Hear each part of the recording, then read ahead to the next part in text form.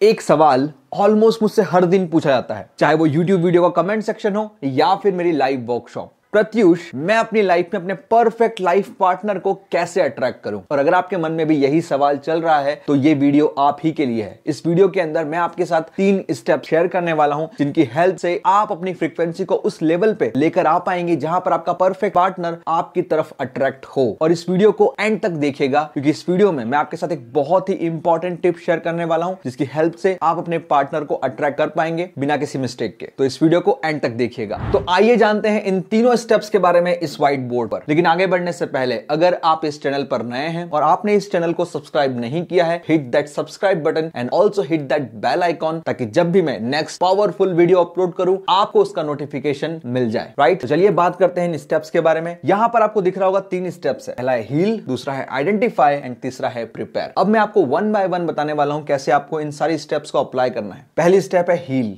यानी कि अगर आप अपनी लाइफ में एक पार्टनर चाहते हैं परफेक्ट पार्टनर ड्रीम पार्टनर चाहते हैं। तो ज़रूरी है कि उसके पहले आप अपनी हीलिंग करें। हीलिंग का मतलब यह है कि आपको अपने अंदर से उस नेगेटिविटी को बाहर निकालना पड़ेगा, जो आप रिलेशनशिप के बारे में रखते हैं। और उसके लिए मैं आपको सजेस्ट करूँगा कि आप अपने बचपन से लेके आज तक के एक्सपीरियंस को देखें रिलेशनशिप के साथ में। ऐसे कौन कौन से मोमेंट्स हैं जो आपको बोलते हैं कि रिलेशनशिप खराब है, या फिर आप एक परफेक्ट पार्टनर डिजर्व नहीं करते। आप उन सारी मेमोरीज को याद करिए। सोचिए, जब आप इस दुनिया में आए थे तो आपने रिलेशनशिप को देखा, पहले आपने अपने पापा मम्मी को देखा होगा। क्या देखा उनके रिलेशनशिप में आपने? आपने अपने दोस्तों को देखा होगा, आपने कोई मूवी देखी होगी, और आपने क्या विचार बनाना स्टार्ट कर दिए रिलेशनशिप के बारे में? क्या आप सोचते हैं रिलेशनशिप एक बर्डन है? क्या आप सोचते हैं कि रिलेशनशिप आने से आपकी फ्रीडम छीन ली जाएगी? क्या आप सोचते हैं कि रिलेशनशिप के बाद में आपकी लाइफ सेम नहीं रहने वाली? क्या आपको ऐसा लगता है कि रिलेशनशिप आने के बाद में आपका पार्टनर जो है, वो आपको अच्छे से ट्रीट नहीं करेगा? या फिर आप ये सोचते हैं कि आप एक अच्छा पार्टनर डिजर्व ही नहीं करते? और अगर आपके मन में ये सारे ख्याल हैं तो पूछिए अपने आप से, ऐसी कौन सी यादें हैं जहाँ से आपने एक ख्याल अपने अंदर डाल लिए? राइट और उन यादों को ज़रूरी है कि आप डिलीट करें, उन पे से नेगेटिव चार्जेस को हटाना स्टार्ट करें। और दूसरी चीज़ ये है कि अगर आप एक ऐसे पास्ट रिलेशनशिप में रहे हैं, जहाँ पर आपका पार्टनर टॉक्सिक था, उसने आपको अच्छे से ट्रीट नहीं किया या फिर आपको धोखा दिया तो क्या वहाँ से कोई बिलीफ आपने अपने मन में बना लिए रिलेशनशिप जो है, वो हमेशा दर्द देती है या सच्चा पार्टनर सबको नहीं मिलता? आइडेंटिफाई करिए कि आप रिलेशनशिप के बारे में सोचते क्या है। जब आप किसी कपल को देखते हैं तो क्या आपको जेलसी महसूस होती है? क्या आपको लगता है कि आप इनफ नहीं है, आप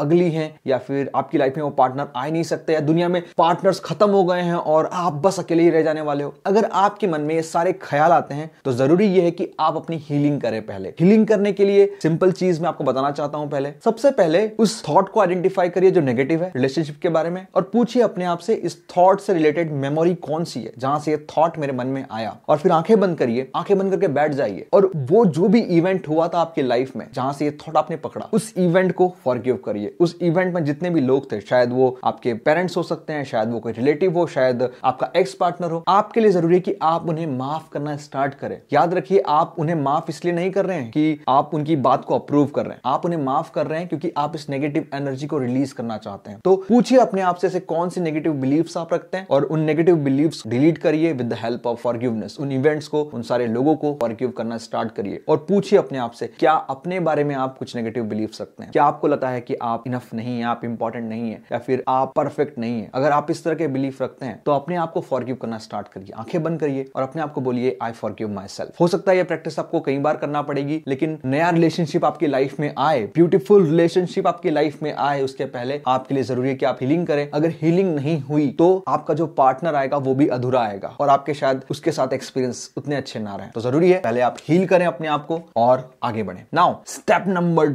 two. Step number two में आपको क्या करना है? आपको आइडेंटिफाई करना है। आपको आइडेंटिफाई करना है कि आप कैसा पार्टनर चाहते हैं लाइफ में। तो बैठिए पेपर और पेन लेकर और पूछिए आपका पार्टनर कैसा होगा उसमें क्या क्वालिटीज होगी। तो डेफिनेटली आप लिख सकते हैं कि आपका पार्टनर हेल्दी होगा। आपका पार्टनर हेल्दी होगा। कौन चाहता है कि आ, हमारा पार्टनर जो है वो हमेशा बीमार रहे। आपका पार्टनर जो है वो अट्रैक्टिव होगा राइट वो बहुत ही सुंदर होगा बहुत ही गुड लुकिंग होगा। एंड शायद आप ये भी चाहेंगे कि आपका पार्टनर जो है उसमें सेंस ऑफ़ ह्यूमर रहे healthy highly attractive growth mindset से आए, जहाँ पर वो भी ग्रोथ में बिलीव करता हो। अगर आप ग्रोथ में बिलीव करते हैं, सीखने में बिलीव करते हैं तो वो भी करे। आप चाहेंगे वो फाइनेंशियली स्टेबल हो राइट फाइनेंशियली वो स्टेबल रहे। ऐसी कई सारी क्वालिटीज आप लिस्ट डाउन कर सकते हैं, जैसे काइंडनेस सपोर्टिव आपके लिए ज़रूरी है कि आप सारी क्वालिटीज जो भी आप चाहते हैं अपने पार्टनर के अंदर, उन्हें लिस्ट डाउन कर लें। And then step number two जब यह आइडेंटिफाई कर लें आप कि आपका पार्टनर जो है, वो कैसा दिखेगा, उसमें क्या क्वालिटीज होगी, आप अपने आप से पूछें कि आपके अंदर क्या ये क्वालिटीज हैं? क्या आप ऑलरेडी हेल्दी हैं? क्या आप अच्छे शेप में हैं? क्या आप अट्रैक्टिव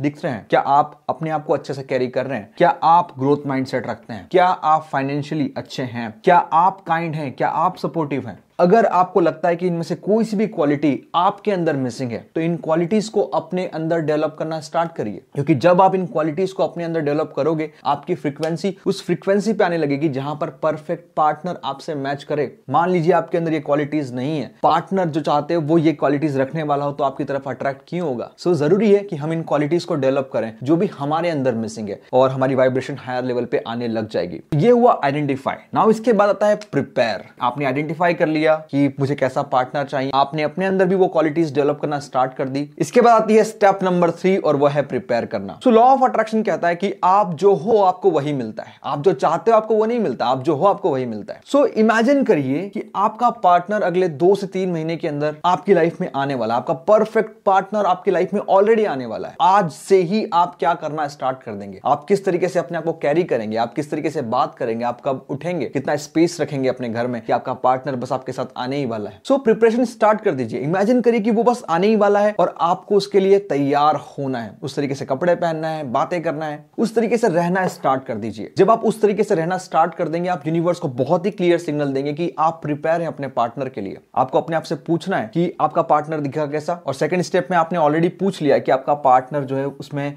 क्या क्वालिटीज होगी। ये जो भी क्वालिटीज हैं इस तरह का एक पार्टनर अपने इमेजिनेशन में क्रिएट कर लीजिए। और हर दिन अपने इमेजिनेशन में उस पार्टनर के साथ में जाइए शॉपिंग करने। जाइए डिनर पे। जाइए कुछ भी करिए। इमेजिनेशन के अंदर उस पार्टनर के साथ रहना स्टार्ट कर दीजिए। जब आप इमेजिनेशन में उस पार्टनर के साथ रहना स्टार्ट करेंगे, आपके माइंड के अंदर कनेक्शन और स्ट्रांग होने लग जाएँगे, जहाँ पर आपके लिए उस पार्टनर को फील करना कि वो बस आ ही रहा है और स्ट्रांग हो जाएगा। जब आपके थॉट्स आपके इमोशन आपके एक्शन एक ही डायरेक्शन में पार्टनर को अट्रैक्ट करेंगे, आपका पार्टनर जल्दी ही आपके लाइफ में शो करेगा। यहाँ पर आपको इन तीनों स्टेप्स को अप्लाई करना है। वन बाय वन पहले आप हील करेंगे अपने आप को। याद रखिएगा, आपके लिए हीलिंग बहुत ज़रूरी है। दूसरे प्रोसेस में आपको आइडेंटिफाई करना है। वो पार्टनर जो है, वो कैसा दिखेगा और उस पार्टनर की फ्रीक्वेंसी को मैच करने के लिए आपको अपने अंदर भी डेवलप करना है। और उसके बाद प्रिपरेशन यानी कि आपको एक्शन लेना स्टार्ट करना है, जैसे वो पार्टनर ऑलरेडी आने वाला है। अगर आपको शादी करना है देन स्टार्ट कर दीजिए। शादी की शॉपिंग करना स्टार्ट कर दीजिए। उस पार्टनर के साथ इमेजिनेशन में रहना स्टार्ट कर दीजिए। तो ये तीन स्टेप्स है जिन्हें आपको वन बाय वन अप्लाई करना है। अब कुछ टिप्स जो मैंने कहा, मैं आपके साथ शेयर करने वाला था। ज़रूरी है कि आप इन टिप्स को भी अप्लाई करें। देखिए, यहाँ पर जब आप एक पार्टनर को अट्रैक्ट कर रहे हैं, ये ज़रूरी है कि आप किसी पर्टिकुलर पर्सन को अपने माइंड में ना रखें या फिर अपने एक्स को माइंड में ना रखें। क्योंकि ये नेचर के लॉस के खिलाफ हो जाता है। आप किसी और की थॉट प्रोसेस पे कंट्रोल नहीं कर सकते। तो ये ज़रूरी है कि जब भी आप अपने पार्टनर को अट्रैक्ट कर रहे हैं, आप उसे माई मैन या फिर माई